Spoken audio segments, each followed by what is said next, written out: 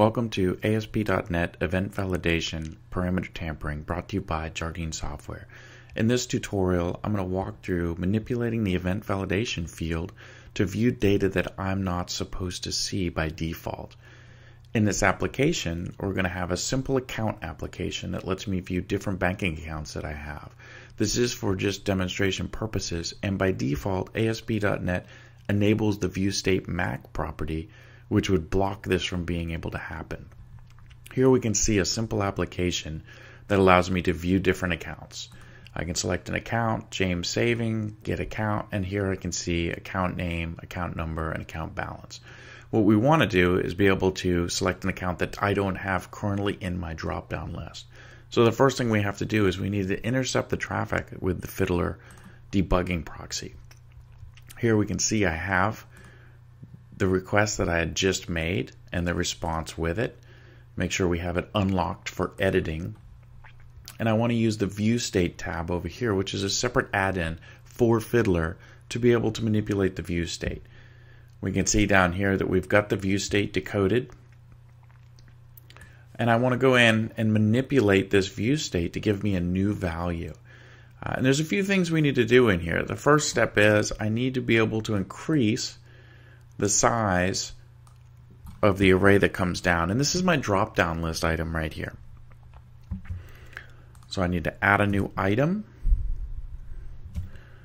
And then I'm going to change the value for this item to make it 3. So now I have enough items to hold each of my values. And then what I need to do is I add a new triplet here. And this triplet is actually my drop down list item. So I'm going to add it in. Now I have a fourth one. Let me say hacked account. And then I'm going to change it to the account number of 00201. And this is account I already know exists, but during a regular test you may have numbers that you know exist and you can attempt to access these. I want to re-encode it. You see my value has changed up here in my view state field. just updated real quickly. I copy that value and I'm going to go ahead and save that off in here into my file. The next value that I need out of here is my event validation. So I come down here and identify my event validation. I'm going to go ahead and copy that. Let me stick that in my notepad so I can clean it up. It doesn't copy very well out of Fiddler. Get rid of the extra characters. And then what I'm going to do is I'm going to actually use this value in a tool that I've written uh, to be able to manipulate the event validation. So here's the custom tool. So I'm going to take my original event validation and I'm going to paste it in and deserialize it. Now this list shows me all of the current items that are in event validation. So these are mostly our list box items, the first one being the view state. And that's very important to notice that the view state is on the top.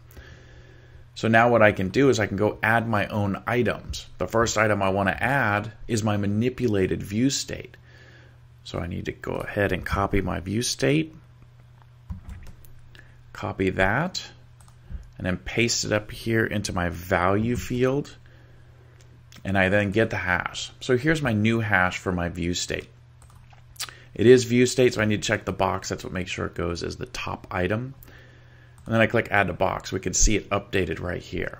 The next item that I need to add, because I now have a new drop-down list item, is I now have to add the value for that. So let me go down and identify the drop down list that we have down here. Here it is. Here's our select box. And I want to go ahead and select the name of that. I'm going to paste that in our unique ID. And then the value that we want. Now the value we put in was 00201. So I put that in there. I create the hash. Here's my new hash code. And now I want to add this is the to the box. It's not view state, so it'll add to the end. So now here I see it at the end. Now I have the two items that I need now in my event validation to make it valid. Now I can reserialize this value And here's my new event validation. So copy that out. I'm going to replace this up here in my event validation field. Now I have my new event validation. So what we're going to do is we're going to intercept a request and we're going to replace these values so that we're actually going to see the new account. So let's go ahead into Fiddler.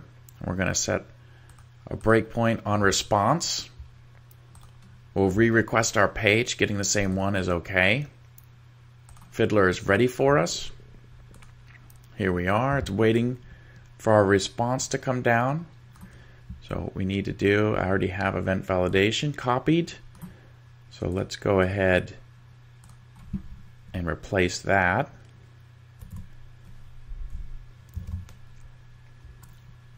And the next thing we need to do is recopy out the view state and copy that value in.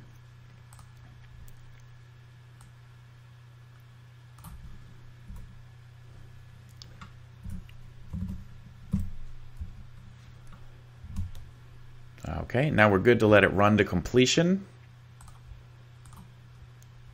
Now when we see our page, we're not going to see anything happen. It's still going to be the same. But now if I resubmit my value, now I see I have a hacked account item in here. Uh, because the event validation went up and said, hey, here's all your list box items, put them in here. Now I have the hacked account, I can select it, get account, and now I can see job checking 00201 and the balance for my account. So you can see how easy it was to go in and manipulate the event validation because view state MAC was not enabled, and view state MAC is used to protect event validation from parameter tampering. So there are a few things we had to do. Update the view state, so the view state was good. Update the event validation properly, and now we were able to go in and view extra data. Thank you for watching, and I hope you had a good time.